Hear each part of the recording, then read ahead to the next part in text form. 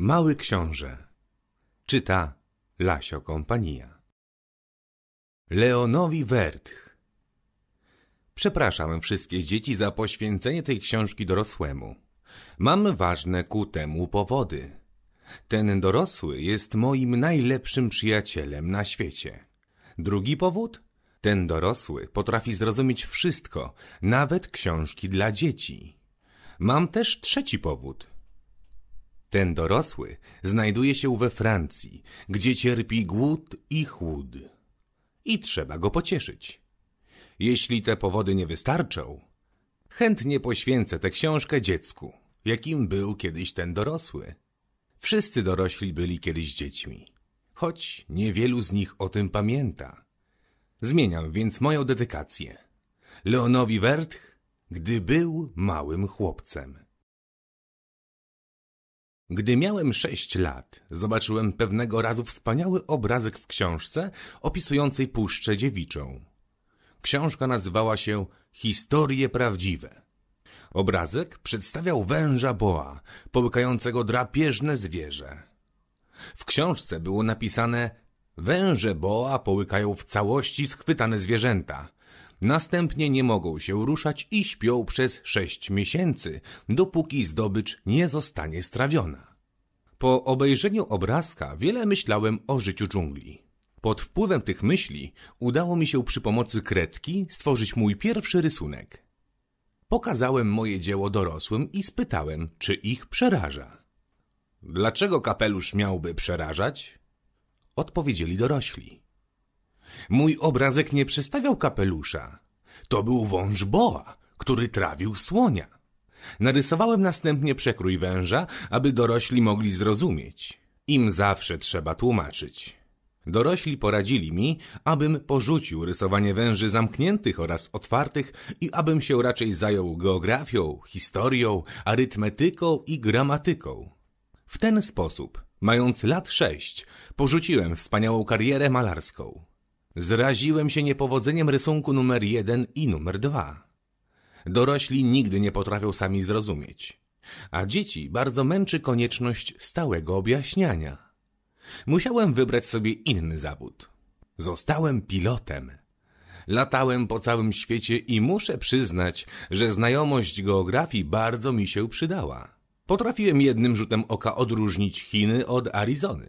Ta wiedza oddaje duże usługi, szczególnie wówczas, gdy się błądzi nocą. Zawód pilota dał mi okazję do licznych spotkań z wieloma poważnymi ludźmi. Wiele czasu spędziłem z dorosłymi. Obserwowałem ich z bliska, lecz to nie zmieniło mej opinii o nich. Gdy spotykałem dorosłą osobę, która wydawała mi się choć trochę mądrzejsza, robiłem na niej doświadczenie z moim rysunkiem numer jeden, który stale nosiłem przy sobie. Chciałem wiedzieć, czy mam do czynienia z osobą rzeczywiście pojętną lecz za każdym razem odpowiadano mi to jest kapelusz. Wobec tego nie rozmawiałem ani o wężach boa, ani o lasach dziewiczych, ani o gwiazdach. Starałem się być na poziomie mego rozmówcy. Rozmawiałem o brydżu, golfie, polityce i krawatach, a dorosły był zadowolony, że poznał tak rozsądnego człowieka. W ten sposób, nie znajdując z nikim wspólnego języka, prowadziłem samotne życie aż do momentu przymusowego lądowania na Saharze. Było to sześć lat temu. Coś się zepsuło w motorze. Ponieważ nie towarzyszył mi ani mechanik, ani pasażerowie, musiałem sam zabrać się do bardzo trudnej naprawy. Była to dla mnie kwestia życia lub śmierci. Miałem zapas wody zaledwie na osiem dni. Pierwszego wieczoru zasnąłem na piasku, o tysiąc mil od terenów zamieszkałych. Byłem bardziej osamotniony niż rozbitek na tratwie pośrodku oceanu. To też proszę sobie wyobrazić moje zdziwienie, gdy o świcie obudził mnie czyjś głosik. Posłyszałem. Proszę cię, narysuj mi baranka. Co takiego? Narysuj mi baranka. Zerwałem się na równe nogi. Przetarłem dobrze oczy. Natężyłem wzrok i zobaczyłem niezwykłego małego człowieka, który bacznie mi się przyglądał. Oto jego najlepszy portret, który udało mi się zrobić później. Oczywiście nie jest on na tym rysunku tak czarujący jak w rzeczywistości. To nie moja wina. Gdy miałem sześć lat, dorośli zniechęcili mnie do malarstwa i dlatego umiem rysować tylko węże była zamknięte i otwarte. Patrzyłem na to zjawisko oczyma okrągłymi ze zdziwienia. Nie zapominajcie, że znajdowałem się o tysiąc mil od terenów zamieszkałych. Tymczasem człowieczek nie wyglądał ani na zbłąkanego, ani na ginącego ze zmęczenia, ani na umierającego z pragnienia czy głodu, ani na przestraszonego. W niczym nie przypominał dziecka zgubionego w środku pustyni o tysiąc mil od miejsc zamieszkałych. Gdy wreszcie odzyskałem mowę, odezwałem się. Ale cóż ty tutaj robisz? A on powtórzył bardzo powoli, jak gdyby chodziło o niezwykle ważną sprawę. Proszę cię, narysuj mi baranka. Zawsze ulega się urokowi tajemnicy. Pomimo niedorzeczności sytuacji, byłem bowiem o tysiąc mil od terenów zamieszkałych i grozi mi niebezpieczeństwo śmierci. Wyciągnąłem z kieszeni kartkę papieru i wieczne pióro. W tym momencie przypomniałem sobie, że przecież uczyłem się tylko geografii, historii, rachunków i gramatyki, więc zmartwiony powiedziałem chłopcu, że nie umiem rysować. Ale on odrzekł: To nic nie szkodzi. Narysuj mi baranka. Ponieważ nigdy w życiu nie rysowałem baranka, pokazałem mu jeden z dwóch rysunków, jakie umiałem zrobić. Rysunek węża boła zamkniętego. Ku memu zdziwieniu chłopczyk odpowiedział: Nie, nie, nie chcę słonia połkniętego przez węża boa. Boa jest zbyt niebezpieczny, a słoń za duży. Mam za mało miejsca. Potrzebny mi jest baranek. Narysuj mi baranka. Narysowałem baranka. Mały przyjrzał się uważnie i rzekł. Nie, ten baranek jest już bardzo chory. Zrób innego. Narysowałem. Mały przyjaciel uśmiechnął się grzecznie z pobłażaniem. Przyjrzyj się. To nie jest baranek, to baran. On ma rogi. Zrobiłem nowy rysunek, ale został odrzucony tak jak poprzedni. Ten baranek jest za stary. Chcę mieć baranka, który będzie długo żył. Tracąc już cierpliwość, chciałem bowiem jak najprędzej zabrać się do naprawy motoru. Nabazgrałem ten obrazek i powiedziałem. To jest skrzynka. Baranek, którego chciałeś mieć, jest w środku. Byłem bardzo zdziwiony, widząc radość na buzi małego krytyka. To jest właśnie to, czego chciałem. Czy myślisz, że trzeba dużo trawy dla tego baranka? Dlaczego pytasz? Bo mam tak mało miejsca. Na pewno wystarczy. Dałem ci zupełnie małego baranka. Pochylił główkę nad rysunkiem. Nie taki znowu mały. Zobacz, zasnął. Tak wyglądał początek mojej znajomości z małym księciem. Dużo czasu upłynęło, zanim zrozumiałem, skąd przybył. Mały książę, choć sam zadawał mi wiele pytań, udawał, że moich nie słyszy. Dopiero z wypowiedzianych przypadkowo słów poznałem jego historię. Kiedy po raz pierwszy ujrzał mój samolot, nie narysuję mego samolotu, ponieważ jest to rysunek zbyt trudny, zapytał. Co to za przedmiot? To nie jest przedmiot. To lata. To samolot. To mój samolot. Byłem bardzo dumny, mogąc mu powiedzieć, latam. Wtedy zapytał, jak to? Spadłeś z nieba? Tak. Odparłem skromnie. Ach, to zabawne. I mały książę wybuchnął śmiechem, który mnie rozgniewał. Wolałbym, aby poważniej traktowano moje nieszczęście. Po chwili powiedział. A więc ty też spadłeś z nieba. Z jakiej planety pochodzisz? W tym momencie rozjaśnił mi się nieco mrok otaczający jego zjawienie się i spytałem natychmiast. Więc ty przybyłeś z innej planety? Ale on nie odpowiadał. Schylił głowę i uważnie przyglądał się memu samolotowi. To prawda. Przy pomocy czegoś takiego nie mogłeś przybyć z daleka. I pogrążył się w rozmyślaniach. Następnie wyjął z kieszeni baranka i zaczął uważnie przyglądać się swemu skarbowi. Możecie sobie wyobrazić, jak bardzo byłem zaintrygowany tym zagadkowym zwierzeniem o innych planetach. Starałem się zatem dowiedzieć czegoś więcej. Skąd przybyłeś, mój mały? Gdzie jest twój dom? Dokąd chcesz zabrać baranka? Po chwili pełnej skupienia powiedział: Dobrą stroną tej skrzynki, którą mi dałeś, jest to, że będzie w nocy jego domkiem. Naturalnie. Jeżeli będziesz grzeczny, dam ci jeszcze linkę i palik, abyś mógł go w dzień przywiązywać. Ta propozycja uraziła małego księcia. Przywiązywać? Też pomysł. Jeżeli go nie przywiążesz, to pójdzie gdziekolwiek i zginie. Mój mały przyjaciel znowu się roześmiał. A gdzie on ma iść? Gdziekolwiek, prosto przed siebie. Wtedy mały książę powiedział z powagą. To nie ma znaczenia. Ja mam tak mało miejsca. Następnie dorzucił z odrobiną, jak mi się wydawało, smutku. Idąc prosto przed siebie, nie można zajść daleko. W ten sposób dowiedziałem się drugiej ważnej rzeczy, że planeta, z której pochodził, niewiele była większa od zwykłego domu. Ta wiadomość nie zdziwiła mnie. Wiedziałem dobrze, że oprócz dużych planet, takich jak Ziemia, Jowisz, Mars, Wenus, którym nadano imiona, są setki innych, tak małych, że z wielkim trudem można je zobaczyć przy pomocy teleskopu. Kiedy astronom odkrywa którąś z nich, daje jej zamiast imienia numer. Nazywa ją na przykład gwiazdą 3251. Miałem pewne podstawy, aby sądzić, że planeta, z której przybył Mały Książę, jest gwiazdą B612. Ta gwiazda była widziana raz tylko w 1909 roku przez tureckiego astronoma, który swoje odkrycie ogłosił na Międzynarodowym Kongresie Astronomów. Nikt jednak nie chciał mu uwierzyć, ponieważ miał bardzo dziwne ubranie. Tacy bowiem są dorośli i ludzie. Na szczęście dla planety B612 turecki dyktator kazał pod karą śmierci zmienić swojemu ludowi ubiór na europejski. Astronom ogłosił po raz wtórny swoje odkrycie w roku 1920 i tym razem był ubrany w elegancki frak. Cały świat mu uwierzył. Opowiedziałem wam te szczegóły o planecie B612 i podałem numer ze względu na dorosłych. Dorośli są zakochani w cyfrach. Jeżeli opowiadacie im o nowym przyjacielu, nigdy nie spytają o rzeczy najważniejsze. Oni spytają was, ile ma lat? Ilu ma braci? Ile waży? Ile zarabia jego ojciec? Wówczas dopiero sądzą, że coś wiedzą o waszym przyjacielu. Jeżeli mówicie dorosłym, widziałem piękny dom z czerwonej cegły, z geranium w oknach i gołębiami na dachu. Nie potrafią sobie wyobrazić tego domu.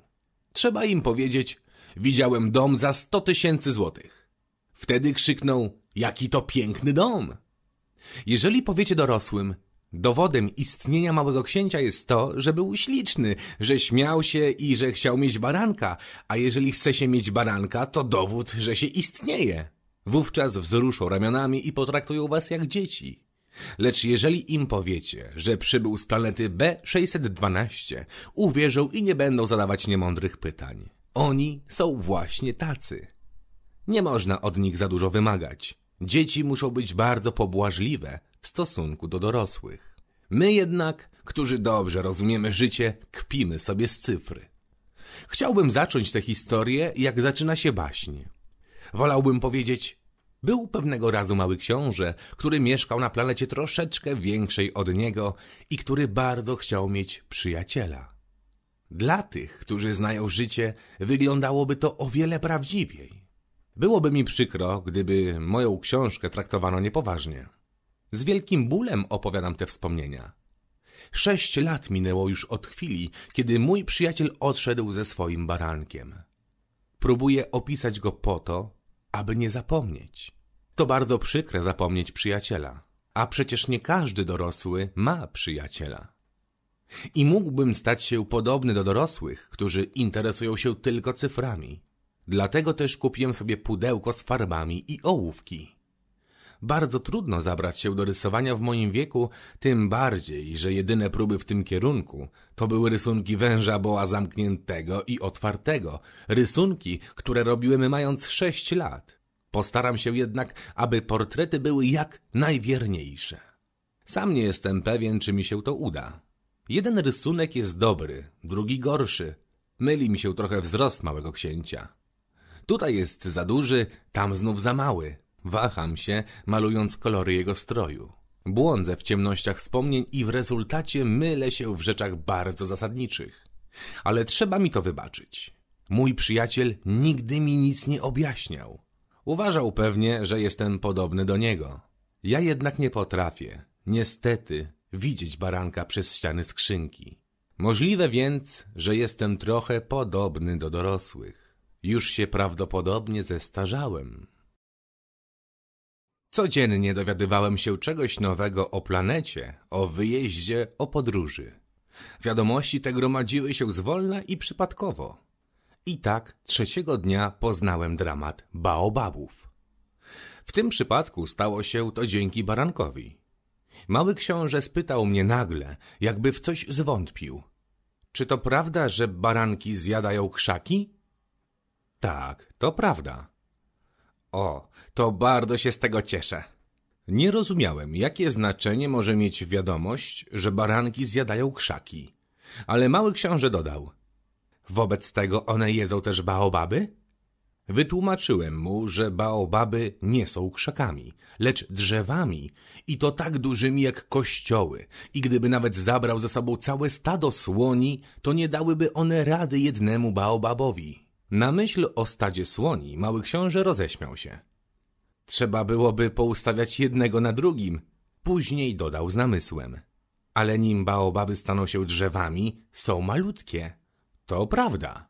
Ale dlaczego chcesz, żeby baranki zjadały małe baobaby? Odpowiedział mi. Dobrze, dobrze. Jakby chodziło o rzecz najzupełniej oczywistą. Musiałem zrobić duży wysiłek, aby zrozumieć to bez niczyjej pomocy. Okazało się, że na planecie Małego Księcia, tak jak na wszystkich planetach, rosły rośliny pożyteczne oraz zielska. W rezultacie znajdowały się tam dobre nasiona roślin pożytecznych i złe nasiona zielsk. Ale ziarna są niewidoczne. Śpią sobie skrycie w ziemi aż do chwili, kiedy któremuś z nich przyjdzie ochota obudzić się. Wypuszcza wtedy cudowny, bezbronny pęd, który najpierw nieśmiało wyciąga się ku słońcu. Jeżeli jest to pęd rzodkiewki albo róży, można mu pozwolić rosnąć, jak chce. Ale jeżeli jest to zielsko, trzeba wyrwać je jak najszybciej, gdy tylko się je rozpozna. Otóż na planecie Małego Księcia były ziarna straszliwe, ziarna baobabu. Zakażony był nimi cały grunt. A kiedy baobab wyrośnie, to na wyrwanie jest za późno i nigdy już nie można się go pozbyć. Zajmie całą planetę przeorze ją korzeniami. A jeżeli planeta jest mała, a baobabów jest dużo, to one ją rozsadzają. Jest to kwestia dyscypliny. Powiedział mi później mały książę. Rano, po umyciu się, trzeba robić bardzo dokładną toaletę planety. Trzeba się zmusić do regularnego wyrywania baobabów i to natychmiast po odróżnieniu ich od krzewów róży, do których są w młodości bardzo podobne. Jest to praca bardzo nudna, lecz bardzo łatwa. Pewnego dnia poraził mi, abym spróbował narysować ładny obrazek, który by pomógł dzieciom z naszej planety zrozumieć niebezpieczeństwo baobabów. Gdybyś kiedyś podróżował, mówił mi, może im się przydać. Czasem odłożenie pracy na później nie przynosi szkody, lecz w przypadku baobabu jest to zawsze katastrofą. Znałem planetę, którą zamieszkiwał leniuch, zlekceważył trzy pędy. Według wskazówek małego księcia narysowałem tę planetę. Nie lubię prawić morałów, lecz niebezpieczeństwo baobabów jest tak mało znane, a ryzyko, na jakie narażają się ci, którzy zabłądzą na jedną z małych planet, jest tak poważne, że tym razem odstąpię od mych zasad.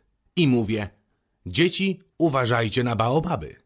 Wiele pracy kosztował mnie ten rysunek, który zrobiłem po to, aby ostrzec mych przyjaciół przed niebezpieczeństwem od dawna grożącym, a nieznanym. Mój trud jednakże opłacił się. Może zapytacie, dlaczego w tej książce nie ma innych równie wspaniałych rysunków jak rysunek baobabów? Odpowiedź jest prosta. Próbowałem je zrobić, lecz mi się nie udały. Gdy malowałem baobaby, kierowała mną jakaś wewnętrzna konieczność. Powoli zrozumiałem, mały książę, twoje smutne życie. Od dawna jedyną rozrywką był dla ciebie urok zachodów słońca. Ten nowy szczegół twego życia poznałem czwartego dnia rano, gdyś mi powiedział, bardzo lubię zachody słońca. Chodźmy zobaczyć zachód słońca. Ale trzeba poczekać. Poczekać na co? poczekać, aż słońce zacznie zachodzić. Początkowo zrobiłeś zdziwioną minę, a później roześmiałeś się i rzekłeś. Ciągle mi się wydaje, że jestem u siebie. Rzeczywiście wszyscy wiedzą, że kiedy w Stanach Zjednoczonych jest godzina dwunasta, we Francji słońce zachodzi. Gdyby można się było w ciągu minuty przenieść ze Stanów do Francji, oglądałoby się zachód słońca. Niestety Francja jest daleko. Ale na twojej planecie mogłeś przesunąć krzesełko o parę kroków i oglądać zachód słońca tyle razy, ile chciałeś. Pewnego dnia oglądałem zachód słońca 43 razy. Powiedział mały książę, a chwilę później dodał. Wiesz, gdy jest bardzo smutno, to kocha się zachody słońca. Więc wówczas, gdy oglądały się 43 razy, byłeś aż tak bardzo smutny? Zapytałem, ale mały książę nie odpowiedział. Piątego dnia, znowu dzięki barankowi, odkryłem nową tajemnicę małego księcia. Gwałtownie, bez żadnego wstępu, zapytał mnie, jak gdyby po długim zastanawianiu się w samotności. Jeżeli baranek zjada krzaki, to je także kwiaty? Baranek je wszystko, co napotka. Nawet kwiaty, które mają kolce? Tak, nawet kwiaty, które mają kolce. A więc do czego służą kolce? Nie wiedziałem. Byłem w tym momencie zajęty luzowaniem zbyt ściągniętego stworznia mego motoru. Niepokoiłem się bardzo, ponieważ zacząłem rozumieć, że uszkodzenie jest poważne, a woda do picia kończy się. Myślałem o najgorszym. Do czego służą kolce? Mały książę nigdy nie rezygnował z postawionego raz pytania. Byłem zdenerwowany stanem mojej maszyny i odpowiedziałem byle co. Kolce nie służą do niczego. To tylko złośliwość kwiatków. Mały książę westchnął, a po chwili milczenia powiedział urażony. Nie wierzę ci. Kwiaty są słabe, są naiwne. One zabezpieczają się jak mogą. Im się wydaje, że z kolcami są bardzo groźne. Nie odpowiedziałem. Mówiłem sobie w tej chwili, jeżeli ten stworzeń nie puści, wybiję go młotkiem. Mały książę przerwał moje myśli. I ty sądzisz, że kwiaty... Ale nic, nic nie sądzę. Odpowiedziałem byle co, zajmuję się poważnymi sprawami. Popatrzył na mnie zdumiony. Poważnymi sprawami? Widział mnie stojącego z młotkiem w ręku, z palcami czarnymi od smaru, schylonego nad przedmiotem, który wydawał mu się bardzo brzydki. Mówisz jak dorośli. Zawstydziłem się. Ale on dodał bezlitośnie, nie rozumiesz nic, mieszasz wszystko.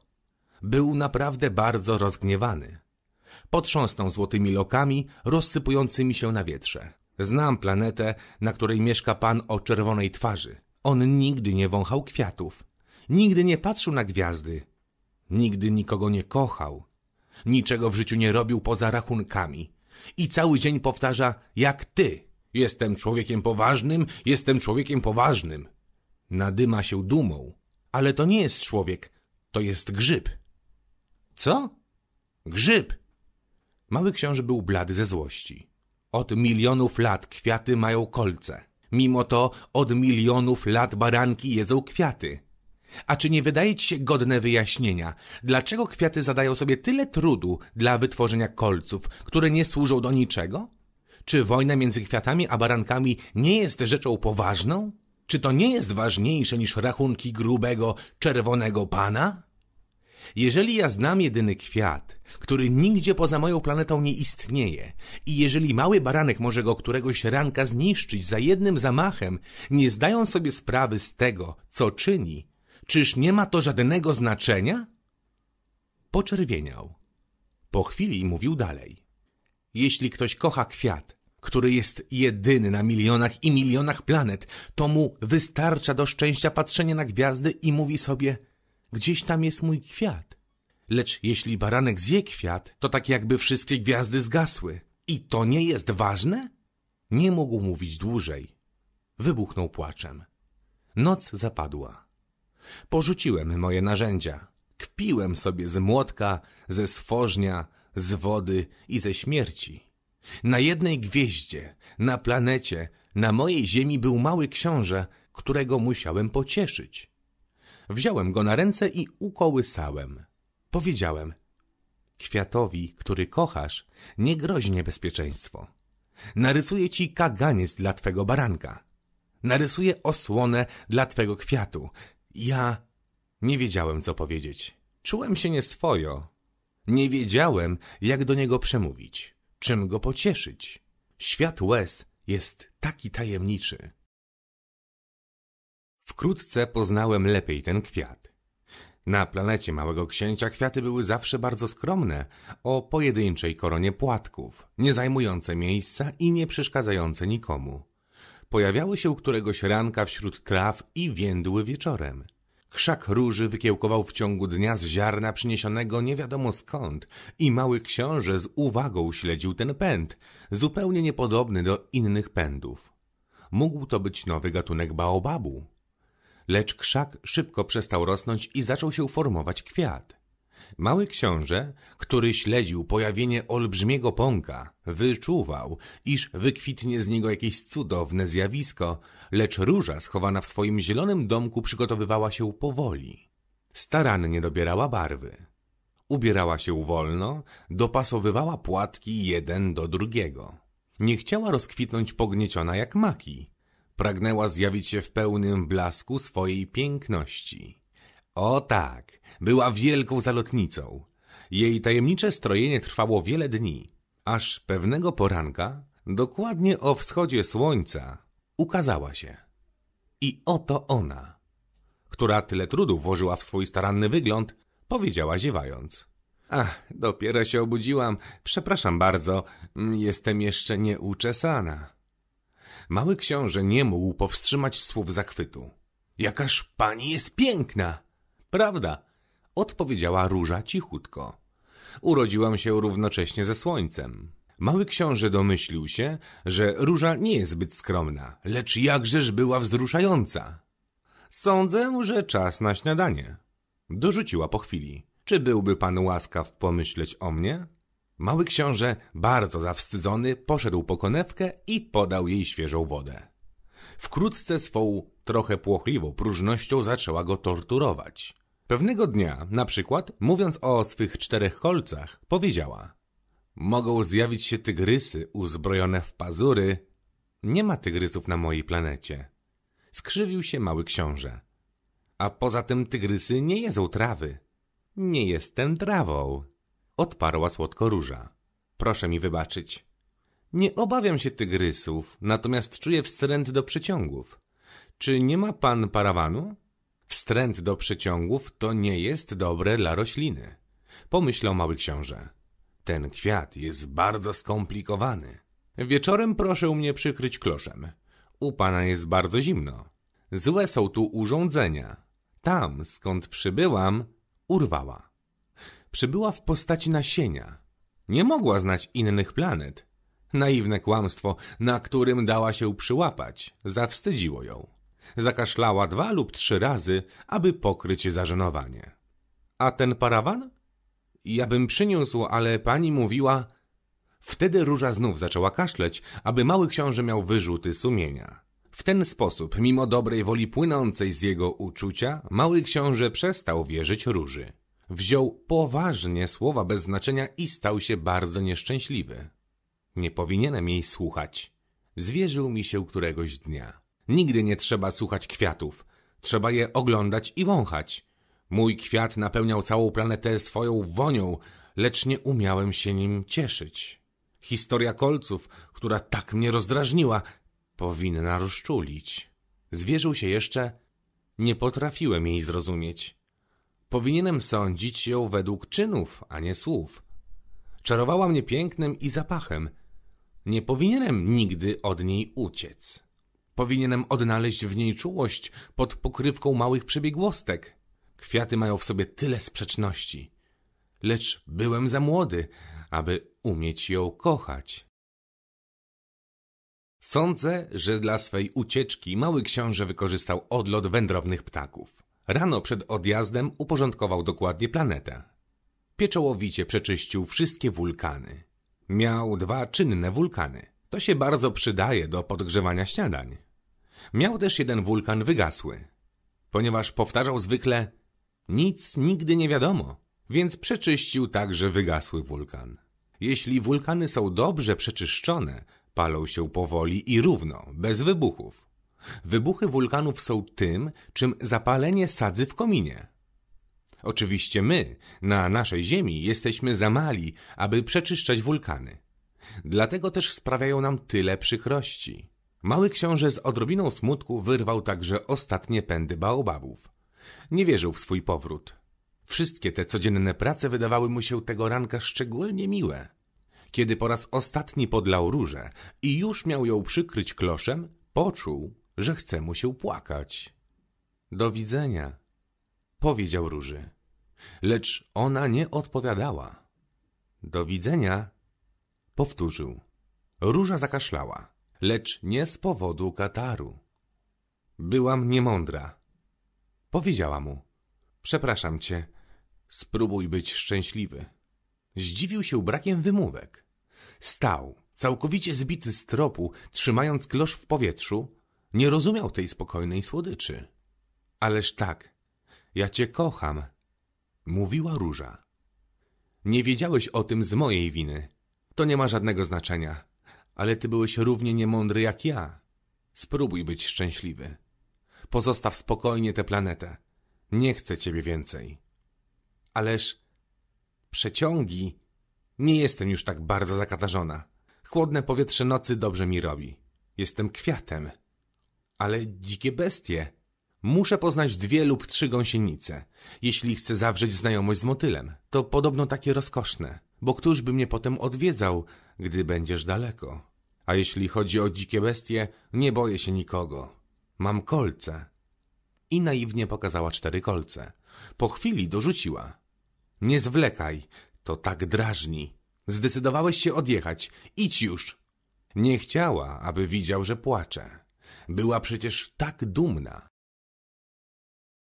Planeta Małego Księcia krążyła w okolicy planetek 325, 326, 327, 328, 329, 330. Zaczął więc od zwiedzania tych planet, aby znaleźć sobie zajęcie i czegoś się nauczyć. Pierwszą zamieszkiwał król. Ubrany w purpurę i gronostaje, siedział na tronie bardzo skromny, lecz majestatyczny. Oto poddany! krzyknął król, gdy zobaczył małego księcia. Mały książę spytał. Widzisz mnie przecież po raz pierwszy. W jaki więc sposób mogłeś mnie rozpoznać? Nie wiedział, że dla królów świata jest bardzo prosty. Wszyscy ludzie są poddanymi. Zbliż się, abym cię widział lepiej.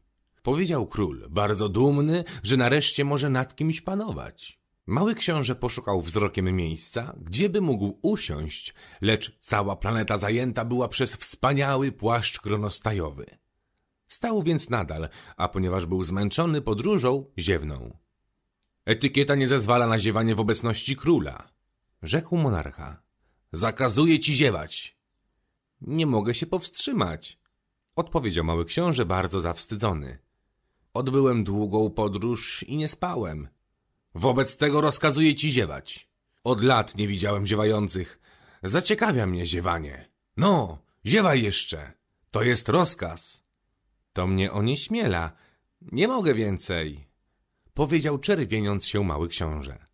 Hmm, hmm, odrzekł król. Wobec tego rozkazuję ci to ziewać, to...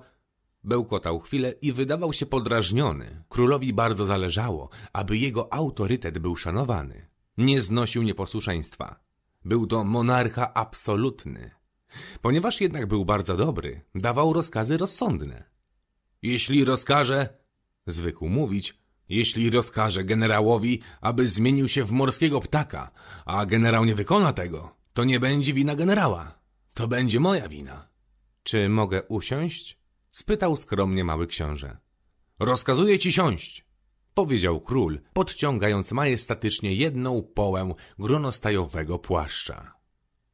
Mały książę był zdziwiony. Planeta była maleńka.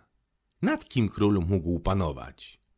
Najjaśniejszy panie, powiedział, proszę mi wybaczyć moje pytania. Rozkazuję ci pytać, pospiesznie powiedział król. Najjaśniejszy panie, Kim najjaśniejszy pan rządzi? Wszystkim. Z wielką prostotą odpowiedział król. Wszystkim? Król dyskretnym ruchem wskazał swoją planetę, inne planety i gwiazdy. Tym wszystkim? spytał mały książę. Tym wszystkim, odpowiedział król, ponieważ był to monarcha nie tylko absolutny, ale i uniwersalny. I gwiazdy najjaśniejszego pana słuchają? Oczywiście, odrzekł król. Słuchają natychmiast. Nie znoszę nieposłuszeństwa. Mały książę zachwycił się taką wiedzą. Gdyby on ją posiadał, mógłby widzieć jednego dnia nie 43, ale 72, nawet 100, nawet 200 zachodów słońca bez przesuwania krzesełka. A ponieważ był trochę smutny z powodu swej małej opuszczonej planety, ośmielił się prosić króla o łaskę. Chciałbym zobaczyć zachód słońca. Proszę mi zrobić przyjemność. Proszę rozkazać słońcu, aby zaszło. Jeśli rozkaże generałowi, aby jak motyl przeleciał z jednego kwiatka na drugi, albo rozkaże mu napisać tragedię, albo zmienić się w morskiego ptaka, a generał nie wykona otrzymanego rozkazu, kto z nas nie będzie miał racji? Ja czy on? Jego królewska mość, odpowiedział stanowczo mały książę. Słusznie. Należy wymagać tego, co można otrzymać. Autorytet opiera się na rozsądku. Jeśli rozkażesz twemu ludowi rzucić się do morza, lud się zbuntuje. Ja mam prawo żądać posłuszeństwa, ponieważ moje rozkazy są rozsądne. Więc jak jest z moim zachodem słońca? Przypomniał mały książę, który nigdy nie porzucał postawionego pytania. Będziesz miał twój zachód słońca. Zarządzę go. Lecz zaczekam w mądrości rządzenia, aż warunki będą przychylne. Kiedy to będzie? Informował się mały książę. Hmm, hmm, zamruczał król, badając gruby kalendarz. Hmm, hmm, to będzie około, około, to będzie dziś wieczorem o godzinie 19.40 i zobaczysz, jaki mam posłuch. Mały książę ziewnął. Żałował straconego zachodu słońca, a poza tym już się trochę nudził. Nie mam tu nic do roboty. Odejdę. Nie odchodź, odpowiedział król, który był tak dumny z posiadania poddanego. Nie odchodź, mianuję cię ministrem. Ministrem czego? Hmm, sprawiedliwości. Ależ tu nie ma kogo sądzić. Nie wiadomo, rzekł król. Jeszcze nie zwiedziłem mego królestwa. Jestem bardzo stary, nie mam miejsca na karocę, a chodzenie mnie męczy. Och, ale ja już widziałem powiedział mały książę, wychylając się, aby rzucić okiem na drugą stronę planety. Tam także nie ma nikogo. Wobec tego będziesz sam siebie sądzić. To najtrudniejsze. Znacznie trudniej jest sądzić siebie niż bliźniego. Jeśli potrafisz dobrze siebie osądzić, będziesz naprawdę mądry. Ja, powiedział mały książę, mogę się sądzić byle gdzie. Nie ma potrzeby, abym mieszkał tutaj. Hmm, Zdaje mi się, że gdzieś na mojej planecie jest stary szczur. Słyszę go nocą. Będziesz mógł od czasu do czasu sądzić tego starego szczura. Będziesz go mógł skazywać na śmierć. W ten sposób życie jego będzie zależne od twojej sprawiedliwości. Lecz za każdym razem ułaskawisz go, aby go oszczędzić, bowiem jest tylko jeden. Nie lubię skazywać na śmierć, odpowiedział mały książę. I już odchodzę. Nie, rzekł król. Mały książę, który skończył już przygotowania do podróży, nie chciał martwić starego monarchy. Jeśli wasza królewska mość chce, aby rozkazy były wykonywane natychmiast, proszę mi dać rozsądny rozkaz. Niech mi na przykład wasza królewska mość rozkaże odejść stąd przed upływem jednej minuty. Zdaje mi się, że okoliczności są sprzyjające. Ponieważ król nie odpowiedział, mały książę po chwili wahania wyruszył w drogę, wzdychając z ulgą. Mianuję cię moim ambasadorem! Wykrzyknął jeszcze król. Był bardzo pewny siebie. Dorośli są bardzo dziwni, mówił sobie mały książę. Drugą planetę zamieszkiwał próżny. Ach, oto odwiedziny wielbiciela! krzyknął, gdy tylko zauważył małego księcia. Albowiem według próżnych każdy spotkany człowiek jest ich wielbicielem. Dzień dobry, powiedział mały książę. Pan ma zabawny kapelusz. Po to, aby się kłaniać, odpowiedział próżny.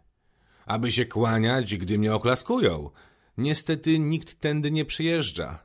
Ach tak, powiedział mały książę, nic nie rozumiejąc. Uderzaj dłonią w dłoń, poradził próżny. Mały książę uderzył dłonią w dłoń.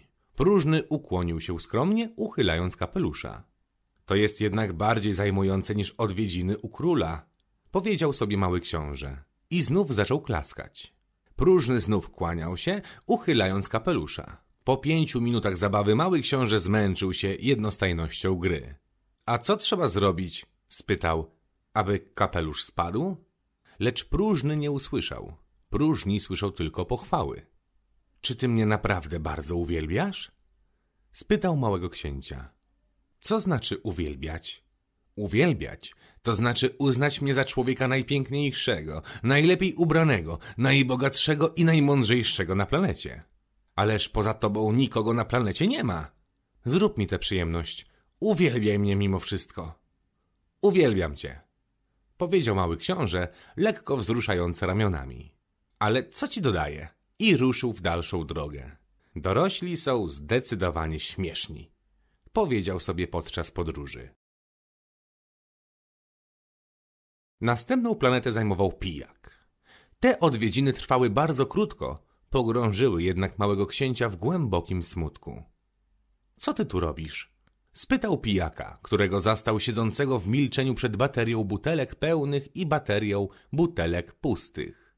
Piję, odpowiedział ponuro pijak. Dlaczego pijesz? spytał mały książę. Aby zapomnieć, odpowiedział pijak. O czym zapomnieć?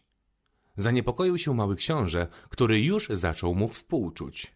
Aby zapomnieć, że się wstydzę, stwierdził pijak, schylając głowę. Czego się wstydzisz? Dopytywał się mały książę, chcąc mu pomóc. Wstydzę się, że piję. Zakończył pijak rozmowę i pogrążył się w milczeniu. Mały książę, zakłopotany, ruszył dalej. Dorośli są naprawdę bardzo, bardzo śmieszni. Mówił sobie po drodze.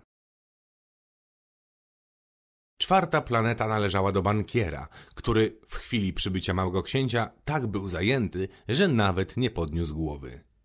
Dzień dobry, powiedział mały książę. Pański papieros zgasł.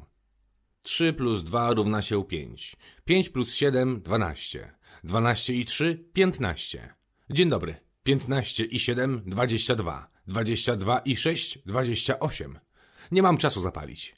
Dwadzieścia sześć i pięć trzydzieści jeden. Och, to razem daje pięćset jeden milionów sześćset dwadzieścia dwa tysiące siedemset trzydzieści jeden. Pięćset jeden milionów czego?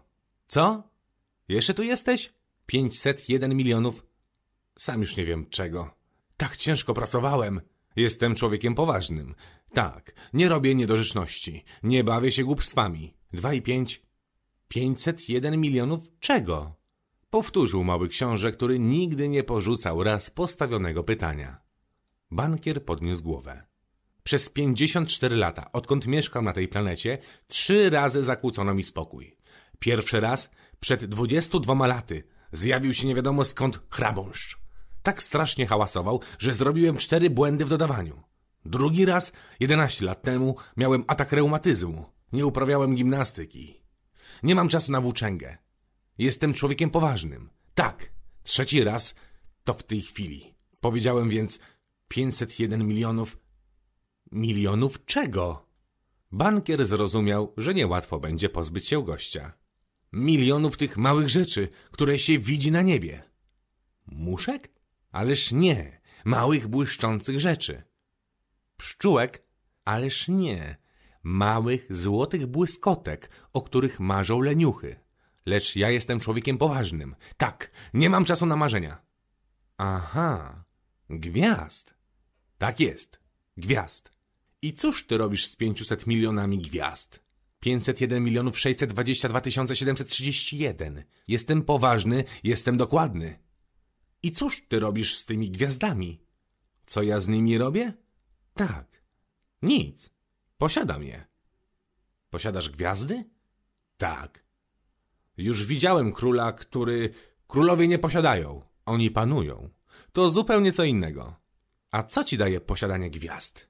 Bogactwo. I cóż ci z tego, że jesteś bogaty? Mogę kupować inne gwiazdy, o ile ktoś się znajdzie. Ten człowiek, powiedział sobie mały książę, rozumuje jak mój pijak. Pomimo tego pytał dalej. W jaki sposób można posiadać gwiazdy? A czyjeż one są? Odburknął bankier. Nie wiem. Niczyje. Wobec tego są moje, ponieważ pierwszy o tym pomyślałem. Czy to wystarcza? Oczywiście. Jeśli znajdziesz diament, który jest niczyj, należy on do ciebie. Jeśli odkryjesz wyspę, która nie należy do nikogo, jest twoja. Jeśli zrobisz wynalazek i opatentujesz go, jest twój.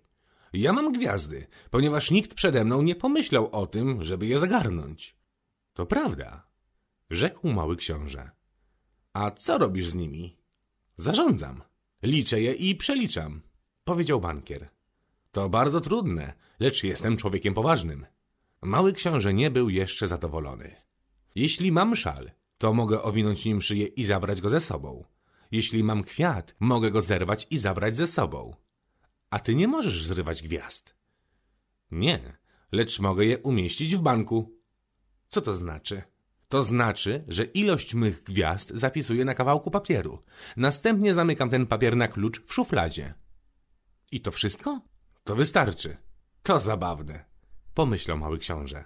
To poetyczne, ale to nie jest zbyt poważne. Mały książę miał zupełnie inne pojęcie o rzeczach poważnych niż mają dorośli. Ja, dorzucił jeszcze, posiadam kwiat, który podlewam codziennie. Posiadam trzy wulkany, które przeczyszczam co tydzień. Przeczyszczam także wulkan wygasły. Nigdy nic nie wiadomo. Jestem pożyteczny dla wulkanów, które posiadam, dla kwiatu, który jest mój. A jaką korzyść mają z ciebie gwiazdy? Bankier otworzył usta, lecz nie znalazł odpowiedzi, więc mały książę ruszył w dalszą drogę.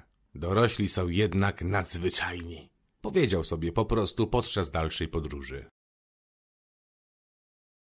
Piąta planeta była bardzo interesująca. Była najmniejsza ze wszystkich.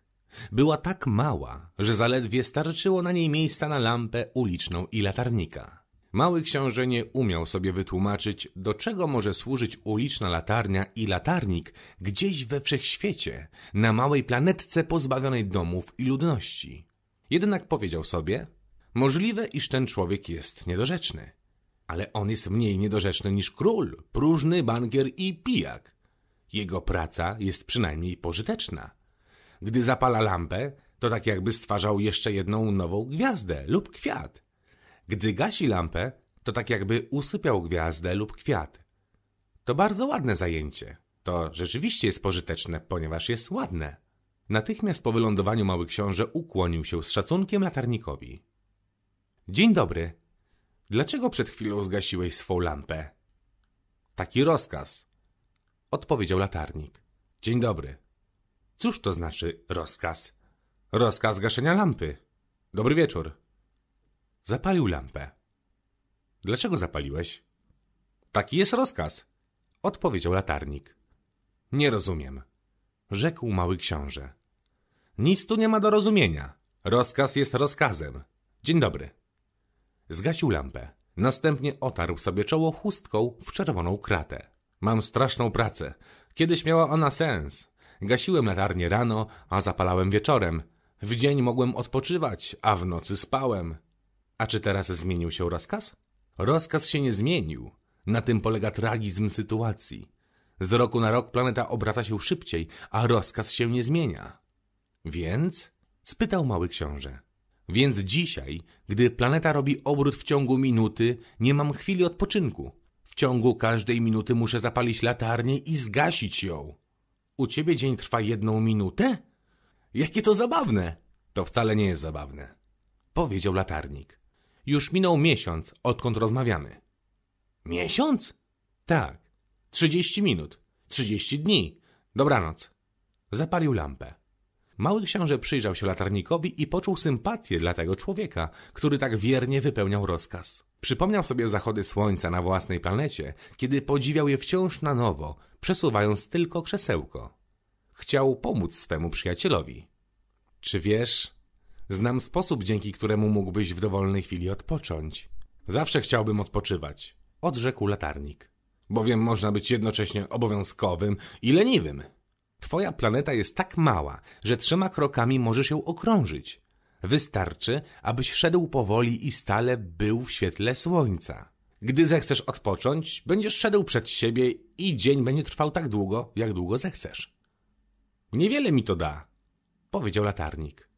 Najbardziej lubię spać. Szkoda, powiedział mały książę.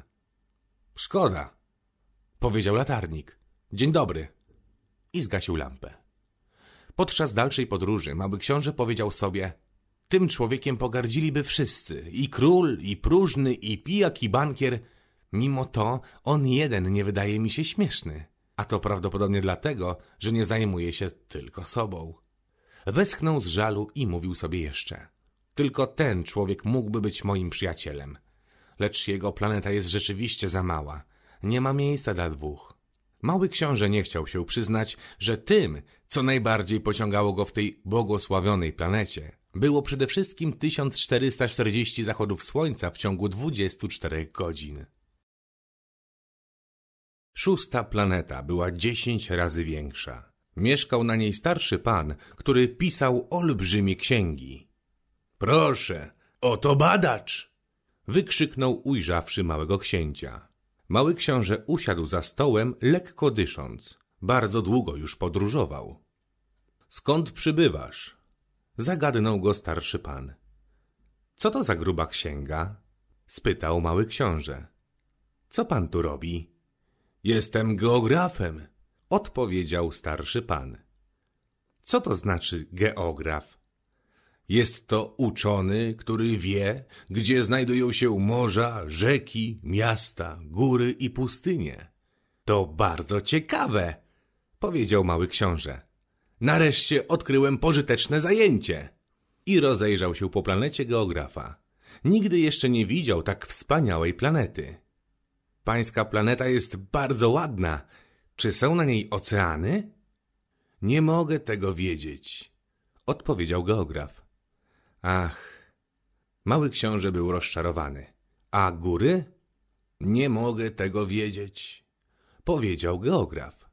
A miasta, rzeki, pustynie? Tego też nie mogę wiedzieć, odparł geograf. Ależ pan jest geografem. To prawda, rzekł geograf, lecz nie jestem badaczem. Bardzo brak mi badaczy. Zadanie geografa nie polega na liczeniu miast, rzek, gór, oceanów i pustyń. Geograf jest zbyt ważną osobistością, aby mógł pozwolić sobie na łazikowanie. On nie opuszcza swego biura, lecz przyjmuje badaczy, wypytuje i notuje ich spostrzeżenia. A gdy uwagi któregoś uzna za interesujące, wtedy każe robić wywiad o moralności danego badacza. Po co? Ponieważ kłamiący badacz wywołałby katastrofy w księgach geografii, a także badacz, który zbyt dużo pije.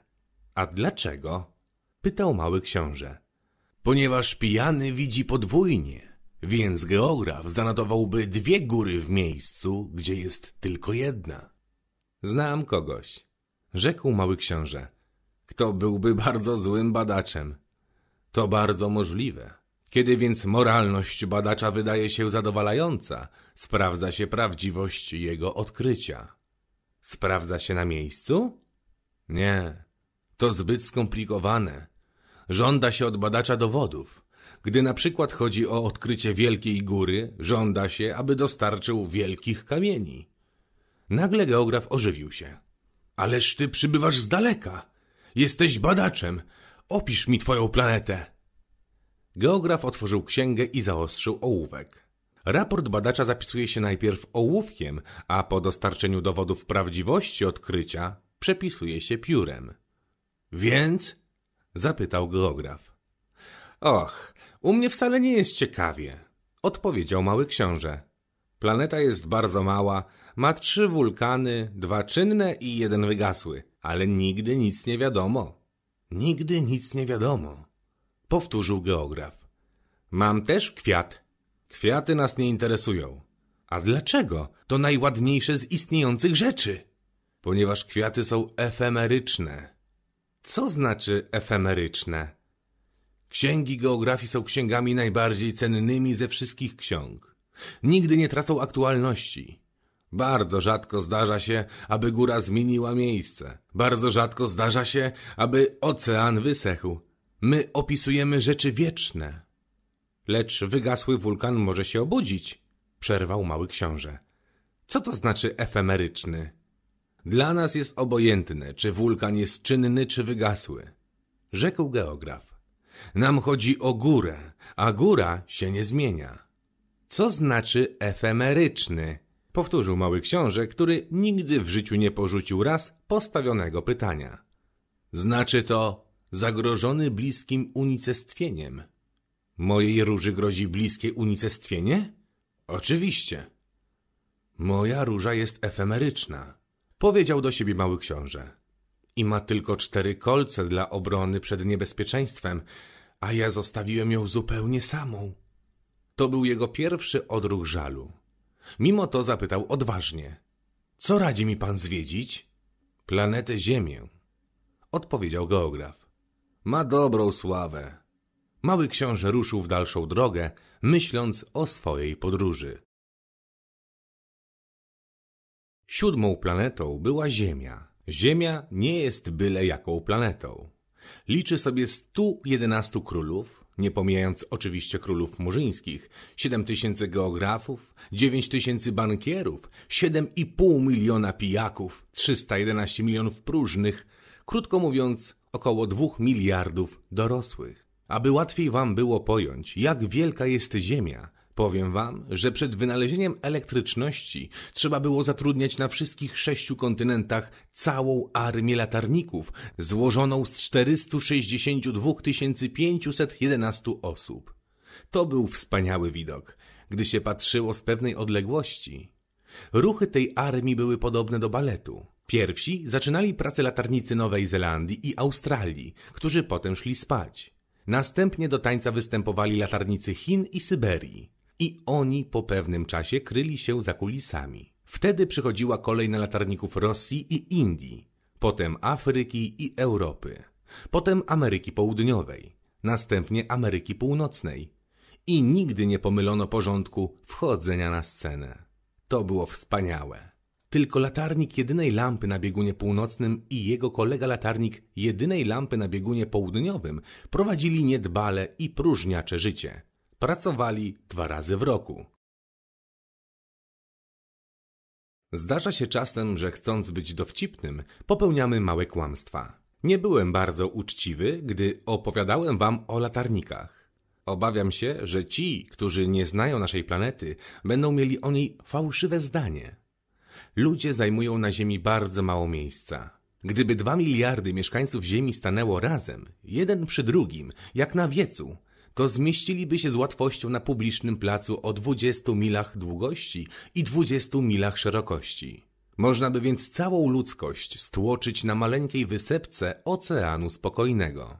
Oczywiście dorośli wam nie uwierzą. Oni wyobrażają sobie, że zajmują dużo miejsca. Wydaje się im, że są tak wielcy jak baobaby. Więc poradźcie im, aby zrobili obliczenia. Kochają się w cyfrach. To im się spodoba. Lecz my nie traćmy czasu na ćwiczenie, które zadaje się za karę. To jest zbyteczne. Wy mi wierzycie. Po przybyciu na ziemię mały książę był bardzo zdziwiony, nie widząc żywej duszy. Przestraszył się, myśląc, że zabłądził, gdy wtem żółtawy pierścień poruszył się na piasku. Dobry wieczór, rzekł mały książę na wszelki wypadek. Dobry wieczór, powiedziała żmija. Na jaką planetę spadłem? spytał mały książę. Na ziemię, do Afryki. Ach, więc ziemia nie jest zaludniona. Jesteśmy na pustyni, na pustyni nikogo nie ma. Ziemia jest wielka, odrzekła żmija. Mały książę usiadł na kamieniu i wzniósł oczy ku niebu. Zadaję sobie pytanie, powiedział, czy gwiazdy świecą po to, aby każdy mógł znaleźć swoją? Popatrz na moją planetę. Jest dokładnie nad nami, ale jak bardzo daleko. Jest piękna, odrzekła żmija. Po co tu przybyłeś? Mam pewne trudności z różą, powiedział mały książę. Ach tak, rzekła żmija. I oboje umilkli. Gdzie są ludzie? Zaczął znowu mały książę. Czuje się trochę osamotniony w pustyni. Mały książę przyglądał jej się przez dłuższy czas. Jesteś zabawnym stworzeniem, rzekł wreszcie. Cienka jak palec. Ach, jestem znacznie potężniejsza niż palec króla, powiedziała żmija. Mały książę uśmiechnął się. Nie jesteś zbyt potężna, nie masz nawet łapek, nawet nie możesz podróżować. Mogę cię unieść dalej niż okręt. Rzekła żmija i owinęła się wokół kostki małego księcia na podobieństwo złotej bransolety. Tego, kogo dotknę, odsyłam tam, skąd przybył. Dodała. Lecz ty jesteś niewinny i przybywasz z gwiazdy. Mały książę nie odpowiedział. Wzbudzasz we mnie litość. Taki słaby, na granitowej ziemi. Mogę ci w przyszłości pomóc, gdy bardzo zatęsknisz za twą planetą. Mogę. Och, bardzo dobrze zrozumiałem, odpowiedział mały książę. Ale dlaczego mówisz ciągle zagadkami? Rozwiązuję zagadki, rzekła żmija. I oboje umilkli. Przechodząc przez pustynię, mały książę spotkał tylko jeden kwiat. Kwiat o trzech płatkach. Nędzny kwiat. Dzień dobry, powiedział mały książę. Dzień dobry, odrzekł kwiat. Gdzie są ludzie? Grzecznie zapytał mały książę. Kwiat widział kiedyś przechodzącą karawanę. Ludzie? Jak sądzę, istnieje sześciu czy siedmiu ludzi. Widziałem ich przed laty, lecz nigdy nie wiadomo, gdzie można ich odnaleźć. Wiatr nimi miota. Nie mają korzeni. To im bardzo przeszkadza. Do widzenia, rzekł mały książę. Do widzenia, odpowiedział kwiat. Mały książę wspiął się na wysoką górę. Jedynymi górami, które dotychczas znał, były sięgające mu kolan wulkany. Wygasły wulkan służył mu jako krzesełko. Z tak wysokiej góry jak ta, powiedział sobie, zobaczy od razu całą planetę i wszystkich ludzi. Lecz nie zobaczył nic poza ostrymi skałami. Dzień dobry, powiedział na wszelki wypadek. Dzień dobry, dzień dobry, dzień dobry, odpowiedziało echo. Kim jesteście? spytał mały książę. Kim jesteście? Kim jesteście? Kim jesteście? Powtórzyło echo. Bądźcie mymi przyjaciółmi, jestem samotny, powiedział. Jestem samotny, jestem samotny, jestem samotny, odpowiedziało echo. Jakaż to zabawna planeta, pomyślał mały książę. Zupełnie sucha, spiszasta i słona, a ludziom brak fantazji. Powtarzają to, co im się mówi. Na mojej gwiazdce miałem różę. Ona zawsze mówiła pierwsza. W końcu jednak zdarzyło się, że po długiej wędrówce poprzez piaski, skały i śniegi mały książę odkrył drogę. A drogi prowadzą zawsze do ludzi. Dzień dobry, powiedział. Był w ogrodzie pełnym róż. Dzień dobry, odpowiedziały róże. Mały książę przyjrzał się im. Były bardzo podobne do jego róży. Kim jesteście? Zapytał zdziwiony. Jesteśmy różami, odparły róże. Ach, westchnął mały książę i poczuł się bardzo nieszczęśliwy. Jego róża zapewniała go, że jest jedyna na świecie. A oto tu, w jednym ogrodzie jest pięć tysięcy podobnych. Byłaby bardzo zdenerwowana.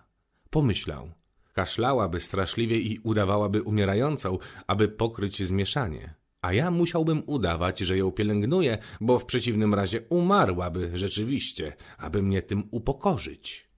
Później mówił sobie dalej. Sądziłem, że posiadam jedyny na świecie kwiat, a w rzeczywistości mam zwykłą różę, jak wiele innych.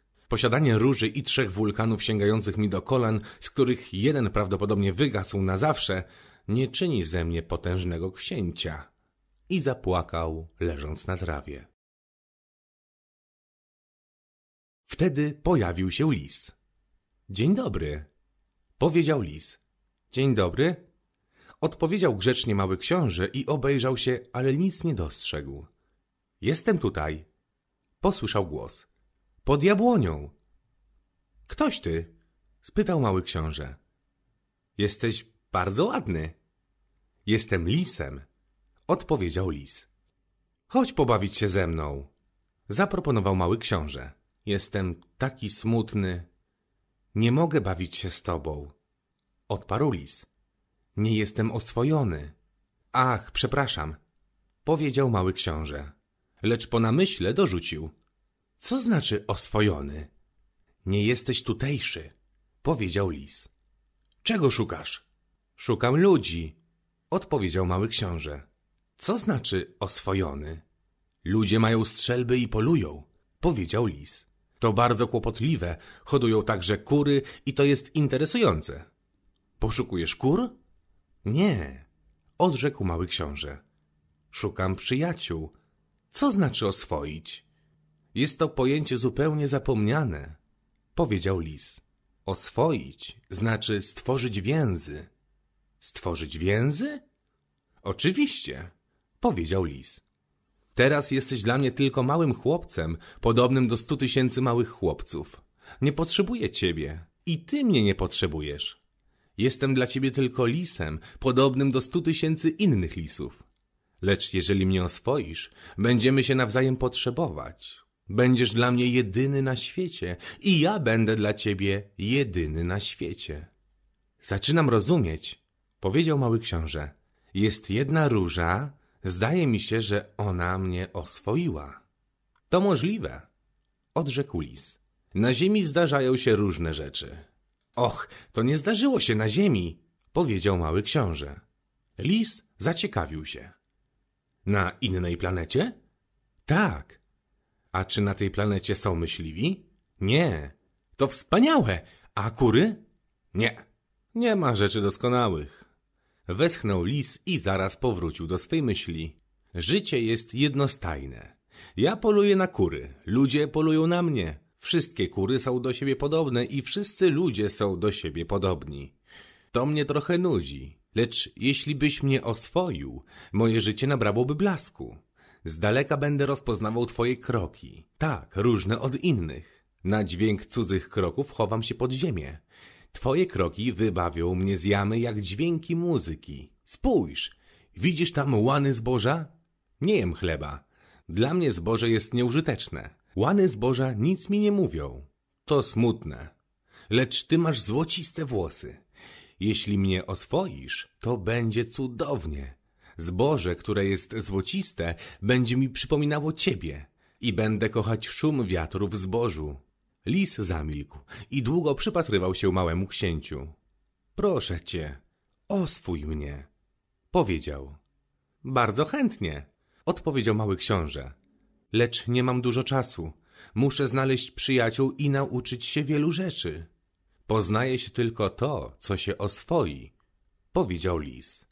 Ludzie mają zbyt mało czasu, aby cokolwiek poznać. Kupują w sklepach rzeczy gotowe, a ponieważ nie ma magazynów z przyjaciółmi, więc ludzie nie mają przyjaciół. Jeśli chcesz mieć przyjaciela, oswój mnie. A jak się to robi? spytał mały książę. Trzeba być bardzo cierpliwym. Na początku siądziesz w pewnej odległości ode mnie, od tak, na trawie. Będę spoglądał na ciebie kątem oka, a ty nic nie powiesz. Mowa jest źródłem nieporozumień, lecz każdego dnia będziesz mógł siadać trochę bliżej. Następnego dnia mały książę przyszedł na oznaczone miejsce. Lepiej jest przychodzić o tej samej godzinie. Gdy będziesz miał przyjść na przykład o czwartej po południu, już od trzeciej zacznę odczuwać radość. Im bardziej czas będzie posuwał się naprzód, tym będę szczęśliwszy. O czwartej będę podniecony i zaniepokojony. Poznam cenę szczęścia. A jeśli przyjdziesz nieoczekiwanie, nie będę mógł się przygotowywać. Potrzebny jest obrządek. Co to znaczy obrządek? spytał mały książę. To także coś całkiem zapomnianego, odpowiedział lis. Dzięki obrządkowi pewien dzień odróżnia się od innych, pewna godzina od innych godzin. Moi myśliwi na przykład mają swój rytuał. W czwartek tańczą z wioskowymi dziewczętami. Stąd czwartek jest cudownym dniem. Podchodzę aż pod winnicę. Gdyby myśliwi nie mieli tego zwyczaju w oznaczonym czasie, wszystkie dni byłyby do siebie podobne, a ja nie miałbym wakacji. W ten sposób mały książę oswoił lisa. A gdy godzina rozstania była bliska, lis powiedział: Ach, będę płakać. To twoja wina, odpowiedział mały książę. Nie życzyłem ci nic złego. Sam chciałeś, abym cię oswoił. Oczywiście, odparł lis. Ale będziesz płakać? Oczywiście. A więc nic nie zyskałeś na oswojeniu? Zyskałem coś ze względu na kolor zboża. Powiedział lis, a później dorzucił. Idź jeszcze raz zobaczyć różę. Zrozumiesz wtedy, że twoja róża jest jedyna na świecie. Gdy przyjdziesz pożegnać się ze mną, zrobię ci prezent z pewnej tajemnicy. Mały książę poszedł zobaczyć się z różami. Nie jesteście podobne do mojej róży, nie macie jeszcze żadnej wartości, powiedział różom. Nikt was nie oswoił i wy nie oswoiłyście nikogo. Jesteście takie, jakim był dawniej lis. Był zwykłym lisem, podobnym do stu tysięcy innych lisów. Lecz zrobiłem go swoim przyjacielem i teraz jest dla mnie jedyny na świecie. Róże bardzo się zawstydziły. Jesteście piękne, lecz próżne, powiedział im jeszcze. Nie można dla was poświęcić życia. Oczywiście moja róża wydawałaby się zwykłemu przechodniowi podobna do was. Lecz dla mnie ona jedna ma większe znaczenie niż wszystkie wyrazem, ponieważ ją właśnie podlewałem. Ponieważ ją przykrywałem kloszem. Ponieważ ją właśnie osłaniałem. Ponieważ właśnie dla jej bezpieczeństwa zabijałem gąsienicę. Z wyjątkiem dwóch czy trzech, z których chciałem mieć motyle. Ponieważ słuchałem jej skarg, jej wychwalań się, a czasem jej milczenia. Ponieważ jest moją różą. Powrócił do lisa. Żegnaj, powiedział. Żegnaj, odpowiedział lis. A oto mój sekret. Jest bardzo prosty. Dobrze widzi się tylko sercem. Najważniejsze jest niewidoczne dla oczu. Najważniejsze jest niewidoczne dla oczu. Powtórzył mały książę, aby zapamiętać. Twoja róża ma dla ciebie tak wielkie znaczenie, ponieważ poświęciłeś jej wiele czasu. Ponieważ poświęciłem jej wiele czasu. Powtórzył mały książę, aby zapamiętać. Ludzie zapomnieli o tej prawdzie. Rzekł lis. Lecz tobie nie wolno zapomnieć. Stajesz się odpowiedzialny na zawsze za to, co oswoiłeś. Jesteś odpowiedzialny za twoją różę. Jestem odpowiedzialny za moją różę powtórzył mały książę, aby zapamiętać. Dzień dobry, powiedział mały książę. Dzień dobry, powiedział zwrotniczy. Co ty tu robisz? spytał mały książę. Sortuję podróżnych na paczki po tysiąc sztuk, odpowiedział zwrotniczy. Wysyłam w lewo i w prawo pociągi, które ich unoszą. Oświetlony pociąg pospieszny, hucząc jak grzmot, zatrząsł domkiem zwrotniczego. Bardzo się śpieszę, powiedział mały książę. Czego oni szukają? Nawet człowiek prowadzący parowóz tego nie wie. Odparł zwrotniczy. I znowu zagrzmiał oświetlony ekspres pędzący w przeciwnym kierunku. Już wracają? spytał mały książę. To nie ci sami, odpowiedział zwrotniczy. To wymiana. Czy było im źle tam, gdzie byli przedtem? Zawsze się wydaje, że w innym miejscu będzie lepiej, powiedział zwrotniczy. Znowu rozległ się grzmot trzeciego oświetlonego ekspresu. Czy oni ścigają poprzednich podróżnych? Zapytał mały książę.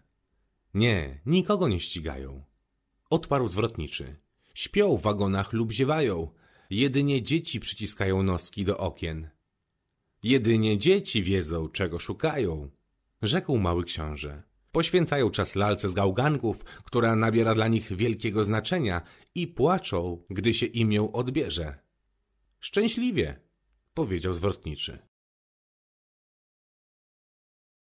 Dzień dobry, rzekł mały książę. Dzień dobry, odparł kupiec.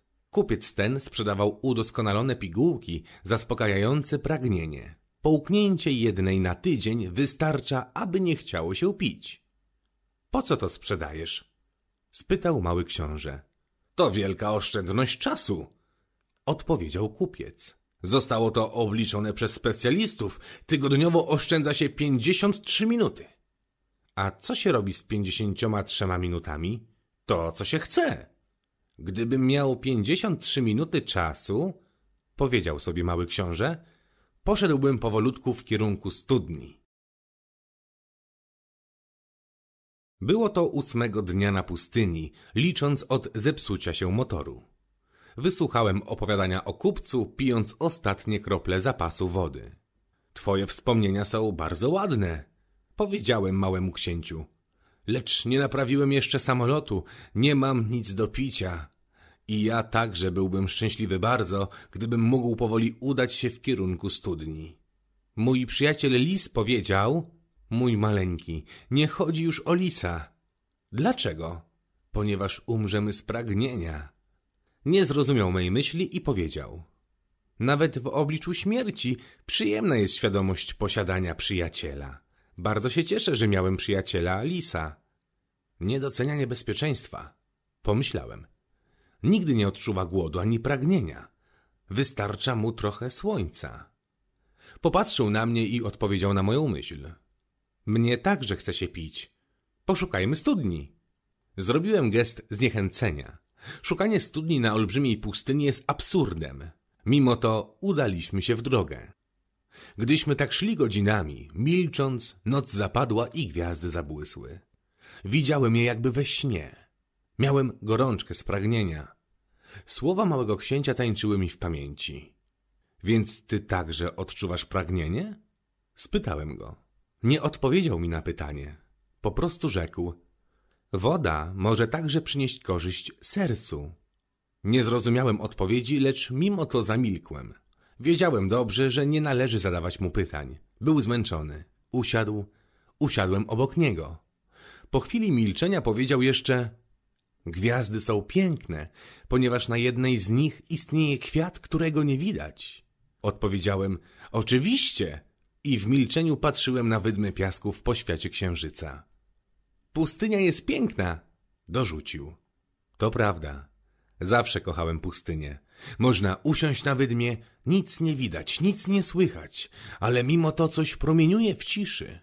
Pustynię upiększa to, powiedział mały książę, że gdzieś w sobie kryje studnie. Nagle ze zdziwieniem zrozumiałem to tajemnicze promieniowanie piasku. Gdy byłem małym chłopcem, mieszkałem w starym domu, do którego przywiązana była legenda o ukrytym skarbie. Oczywiście nikt skarbu nie znalazł, a może nawet nie szukał go. Lecz on rzucał czar na dom. Mój dom ukrywał w sobie tajemnicę. Tak, powiedziałem małemu księciu. To, co upiększa dom, czy gwiazdy, czy pustynię, jest niewidzialne. Jestem zadowolony. Powiedział, że zgadzasz się z moim lisem. Ponieważ mały książę był senny, wziąłem go na ręce i poszedłem dalej. Byłem wzruszony. Wydawało mi się, że niosę kruchy skarb. Wydawało mi się nawet, że na ziemi nie istnieje nic bardziej nietrwałego. W świetle księżyca patrzyłem na blade czoło, na zamknięte oczy, na pukle włosów poruszane wiatrem i mówiłem sobie, że to, co widzę, jest tylko zewnętrzną powłoką. Najważniejsze jest niewidoczne. Ponieważ półotwarte wargi uśmiechały się leciutko, powiedziałem sobie jeszcze to, co mnie wzrusza najmocniej w tym małym śpiącym królewiczu, to jego wierność dla kwiatu. To obraz róży, który świeci w nim jak płomień lampy nawet podczas snu. I wydał mi się jeszcze bardziej kruchy. Byle podmuch wiatru może zgasić lampę. Trzeba dobrze uważać. I tak idąc, o świcie odnalazłem studnię. Ludzie tłoczą się w pociągach, powiedział mały książę, nie wiedząc czego szukają. Dlatego są podnieceni i kręcą się w kółko. A potem dorzucił, nie warto. Studnia, którą znaleźliśmy, nie przypominała zupełnie studni sacharyjskich. Studnie sacharyjskie są po prostu dziurami wykopanymi w piasku. Ta natomiast przypominała wiejską studnię, lecz nigdzie nie było wioski. Zdawało mi się, że śnie. To zadziwiające, powiedziałem do małego księcia. Wszystko jest przygotowane. Blok, lina i wiadro. Zaśmiał się. Chwycił linę, puścił blok w ruch. Blok jęknął. Zagrzytał jak stara chorągiewa na dachu po długotrwałym bezruchu. Słuchaj, obudziliśmy studnię i ona śpiewa. Nie chciałem, aby się męczył. Pozwól mi, to za ciężkie dla ciebie. Powoli wyciągałem wiadro aż do cembrowiny. Postawiłem je równo. W uszach dźwięczał mi śpiew bloku, a w falującej jeszcze wodzie widziałem drgające słońce. Chcę napić się tej wody. Powiedział mały książę. Daj mi. Zrozumiałem już, czego szukał. Podniosłem wiadro do jego warg. Pił, mając oczy zamknięte. To było tak piękne jak święto. To było czymś więcej niż pożywieniem. Ta woda zrodzona była z marszu pod gwiazdami, ze śpiewu bloku, z wysiłku mych ramion. Sprawiała radość sercu, jak podarek. Świeczki na choince, muzyka na pasterce oraz słodkie uśmiechy opromieniały prezenty, jakie otrzymywałem na Boże Narodzenie, gdy byłem małym chłopcem. Ludzie z twojej planety, powiedział mały książę, hodują pięć tysięcy róż w jednym ogrodzie i nie znajdują w nich tego, czego szukają. Nie znajdują, odpowiedziałem. A tymczasem to, czego szukają, może być ukryte w jednej róży lub w odrobinie wody. Oczywiście, odpowiedziałem. Mały książę dorzucił, lecz oczy są ślepe. Szukać należy sercem. Napiłem się. Oddychałem głęboko. O wschodzie słońca piasek jest koloru miodu. Cieszyłem się tym kolorem miodu. I jak mogłem przypuszczać, że oczekiwało mnie cierpienie. Powinieneś dotrzymać obietnicy, powiedział cichutko mały książę. Siedliśmy znów razem. Jakiej obietnicy? Widzisz, kaganiec dla baranka. Jestem odpowiedzialny za mój kwiat. Wyciągnąłem z kieszeni moje szkice. Mały książę zauważył je i śmiejąc się powiedział. Twoje baobaby przypominają trochę główki kapusty. Och! Byłem tak dumny z tych baobabów. Twój lis z takimi uszami, które przypominają rogi, są za długie. I śmiał się dalej.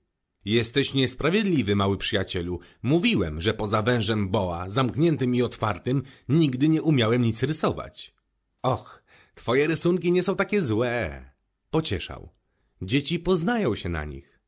Narysowałem kaganiec. Ścisnęło mi serce, kiedy mu go pokazywałem. Masz plany, których nie znam.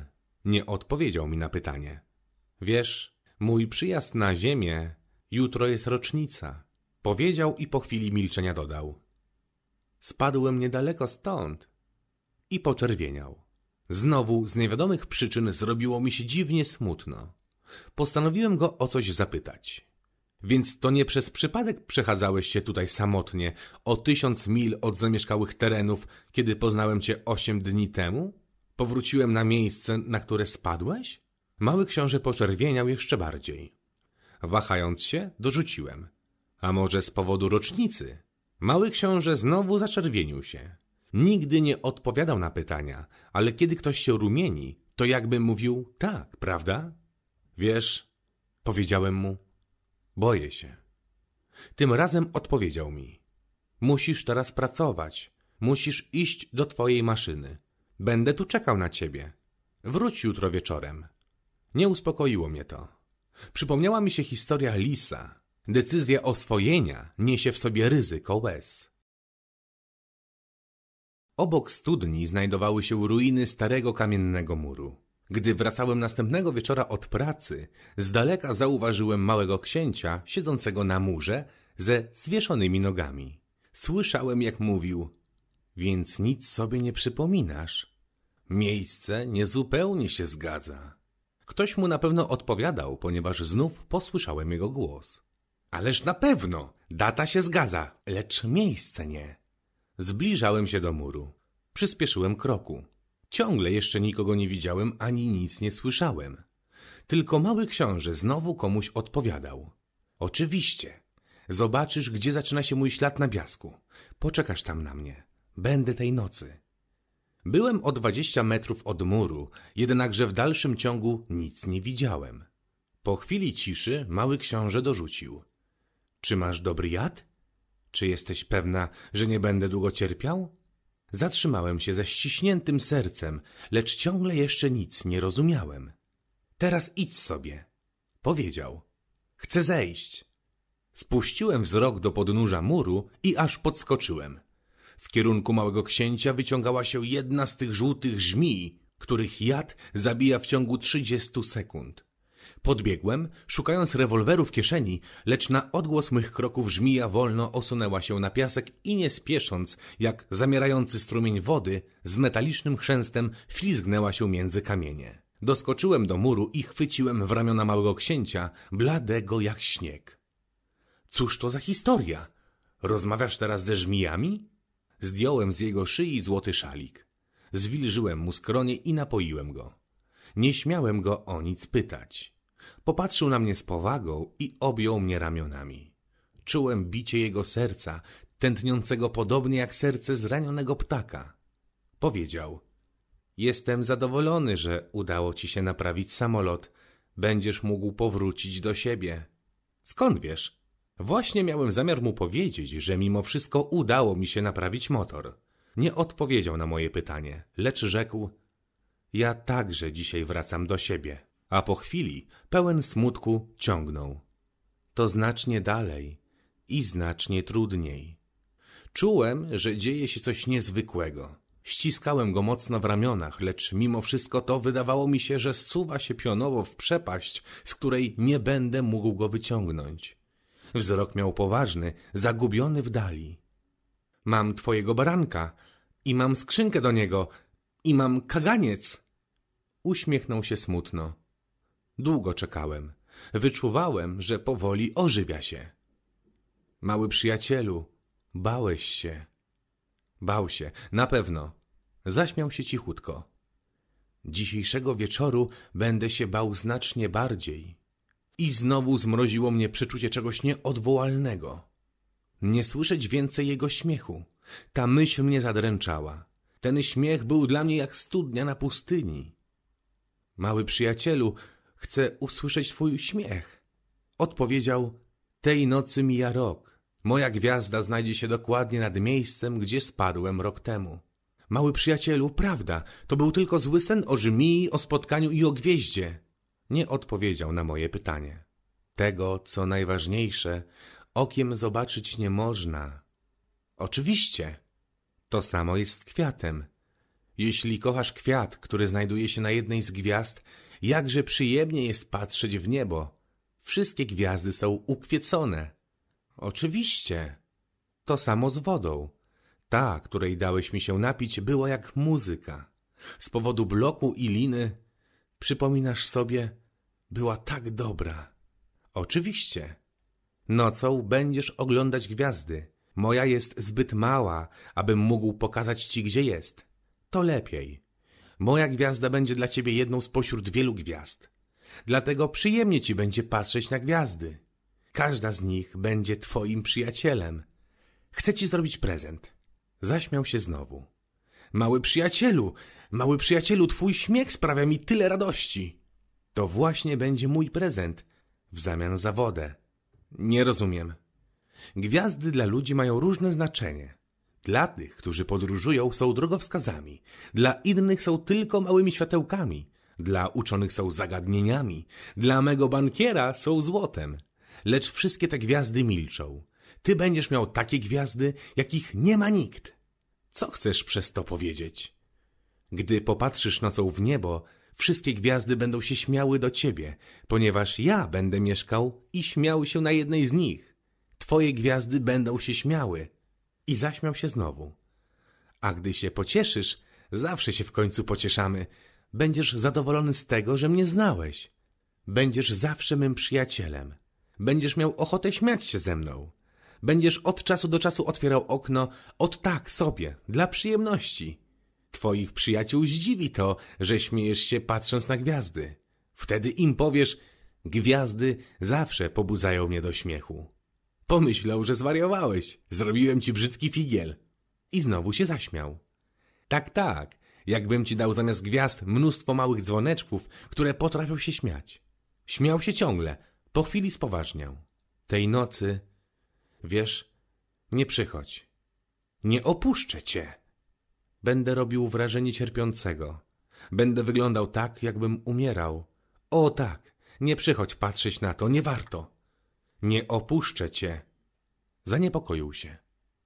Mówię ci to także z powodu żmii. Nie chcę, żeby cię ukąsiła. Żmije są złośliwe, mogą ugryźć dla przyjemności.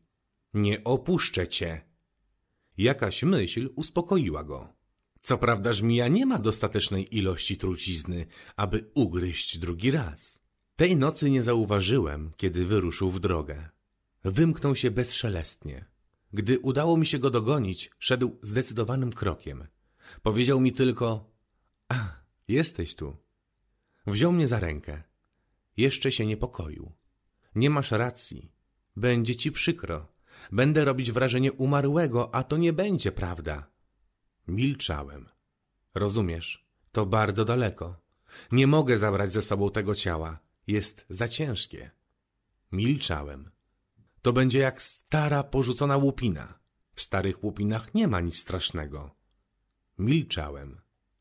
Powoli się zniechęcał, lecz zrobił jeszcze wysiłek. To będzie ładnie. Ja też będę patrzeć na gwiazdy. Wszystkie gwiazdy będą studniami, zardzewiałym blokiem. Wszystkie gwiazdy dadzą mi pić. Milczałem.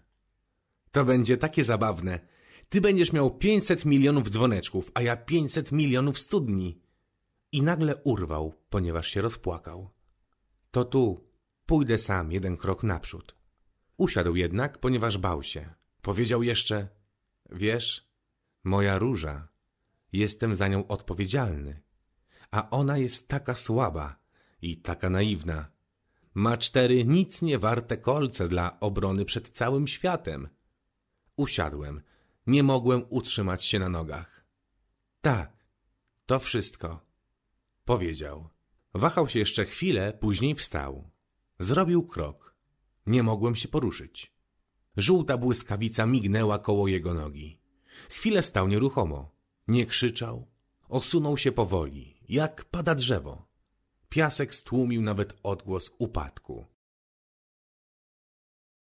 A dzisiaj minęło już sześć lat. Nigdy jeszcze nie opowiadałem tej historii. Moi koledzy cieszyli się bardzo z mego powrotu. Byłem smutny, lecz mówiłem im, to zmęczenie. Teraz trochę się pośpieszyłem. To znaczy, jeszcze nie zupełnie. Lecz wiem na pewno, że wrócił na swoją planetę, ponieważ o wschodzie słońca nie znalazłem jego ciałka. Nie było ciężkie to ciało. I bardzo lubię słuchać nocą gwiazd. To tak jakby pięćset milionów dzwoneczków. Ale zdarzyła się rzecz dziwna. Zapomniałem dorobić rzemień do kagańca, który narysowałem małemu księciu. Nie będzie mógł go nałożyć barankowi. Pytam nieraz siebie, co dzieje się na jego planecie. Możliwe, że baranek zjadł różę. Czasem mówię sobie, że na pewno nic się nie stało. Mały książę przykrywa różę na noc szklanym kloszem i dobrze strzeże baranka. Wtedy jestem szczęśliwy. I wszystkie gwiazdy śmieją się pogodnie. A czasem mówię sobie, od czasu do czasu zapomina się o obowiązkach. I to już wystarczy. Zapomniał wieczorem zakryć różę szklanym kloszem albo baranek cicho wyszedł ze skrzynki w nocy.